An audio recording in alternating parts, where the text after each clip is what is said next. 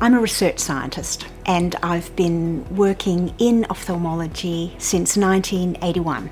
Well, things have changed a lot over 30 years, but I think we've always been interested in providing an evidence base for the surgeons Australia wide who practice corneal transplantation. And so we established the Australian Corneal Graft Registry, which tracks patient outcomes after this particular procedure. We have records of over 37,000 Australians who've had a corneal transplant, and we know how they track forever.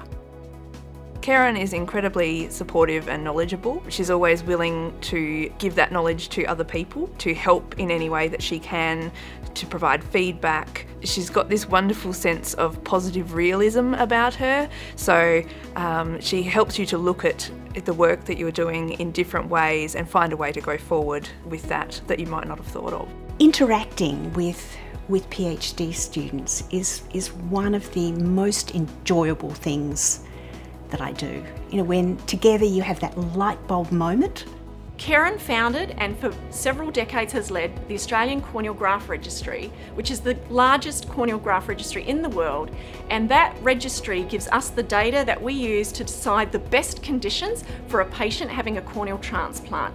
And if it hadn't been for Keryn and her forethought in developing that registry, many people would not be having the great outcomes they are getting today from corneal transplants.